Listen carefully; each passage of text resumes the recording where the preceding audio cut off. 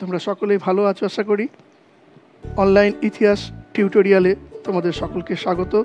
আজকে আমি তৃতীয় অধ্যায়ের একটি গুরুত্বপূর্ণ পাঠ তোমাদের সঙ্গে আলোচনা করব। বিষয়টি হচ্ছে বাংলার ওহাবি আন্দোলন। ওহাবি আন্দোলন সম্পর্কে জানতে গেলে প্রথমেই আমাদের যে বিষয়টা জানা দরকার, যে এই আন্দোলন কীভাবে ভারতবর্ষে বিস্তার লাভ করল। এবং এই আন্দোলনের মূল উদ্দেশ্য কী ছিল এবং ওহাবি কথাটির অর্থ কী? এবং কবে, কত সালে এই আন্দোলন বাংলায় বিস্তার লাভ করেছিল? প্রথমেই বলি যে ওহাবি যে শব্দটি, তার অর্থ হচ্ছে নবজাগরণ। অষ্টাদশ শতাব্দীতে মোহাম্মদ বিন আব্দুল ওহাবের দ্বারা আরবে এই আন্দোলনের সূত্রপাত হয়। আসলে তার এই নামের অংশ ধরেই এই আন্দোলনের নাম হয়েছিল ওহাবি আন্দোলন। ইসলাম ধর্মের মূল কথা ঈশ্বর, নিরাকার এবং অদ্বিতীয়। ইসলাম ধর্মের উপাসনা জাকজমক ও বাহ্য আড়ম্বর মুক্ত এই আব্দুল ওহাবের শিষ্য তিনি ছিলেন উত্তরপ্রদেশের রায়বেরেলির সৈয়দ আহমেদ বেলডি। মক্কা থেকে হজ করে ফিরে ভারতবর্ষে তিনি আব্দুল ওহাবের এই আদর্শকে প্রচার করেন। আসলে এই আব্দুল ওহাব তার আদর্শের দ্বারা বিভিন্ন দেশের মানুষ যারা হজ করতে গেছেন, তারা সকলে প্রভাবিত হয়েছেন এবং নিজের ধর্মের নবজাগরণের জন্য তারা কিন্তু নিজ নিজের দেশে এই আন্দোলন শুরু করেছে এবং তার নাম অনুসারেই এই আন্দোলন ওহাবি আন্দোলন নামেই পরিচিত। বাংলাদেশে, আমাদের বাংলায় এই ওহাবি আন্দোলনের সূত্রপাত হয় আঠারোশো একত্রিশ খ্রিস্টাব্দ। এখানে একটা বিষয় তোমাদের একটু জেনে রাখা দরকার, যে ভারতবর্ষে শাহ ওয়ালি উল্লাহের এই আন্দোলনের সূত্রপাত করেছিলেন। কিন্তু ভারতবর্ষে এই আন্দোলনের প্রকৃত প্রবর্তক ছিলেন সৈয়দ আহমেদ।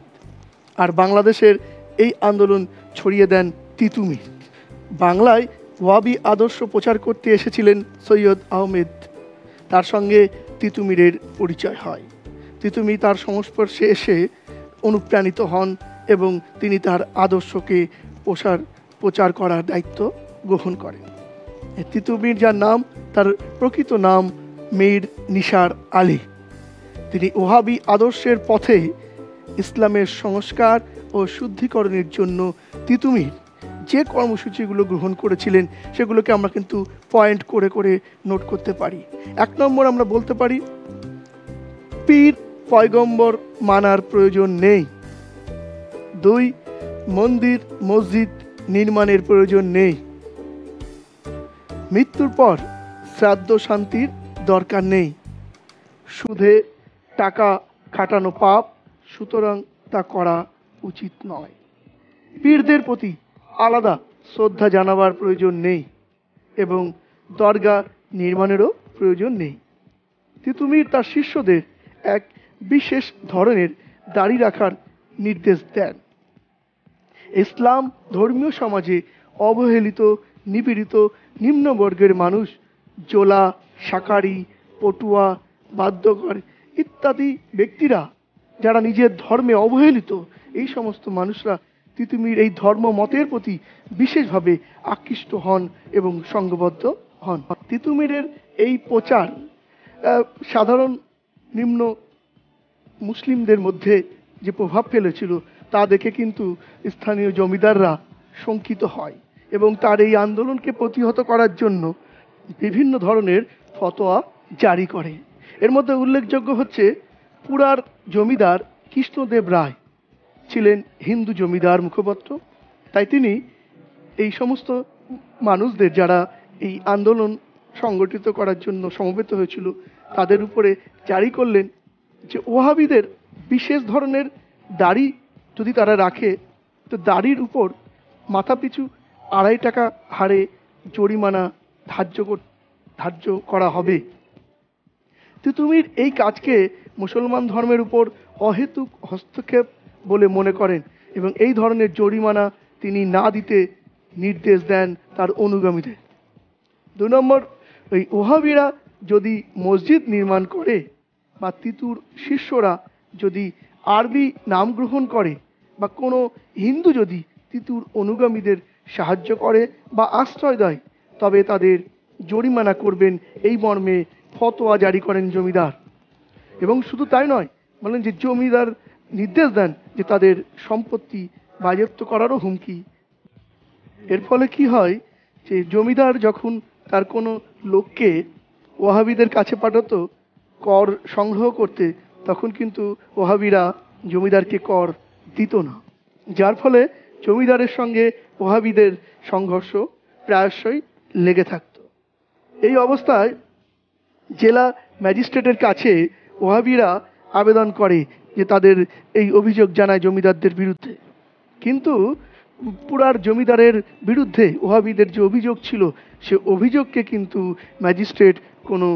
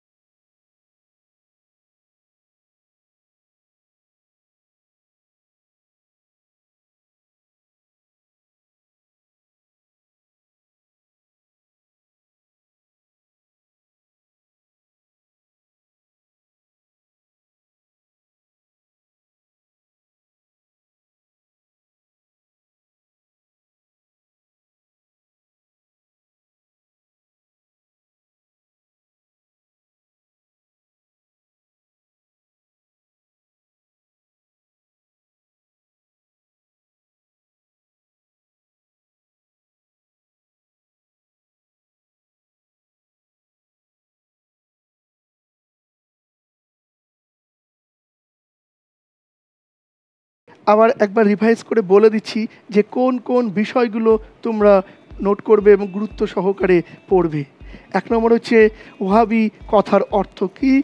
এই ওহাবি আন্দোলন কে শুরু করেছিলেন? আরব দেশে।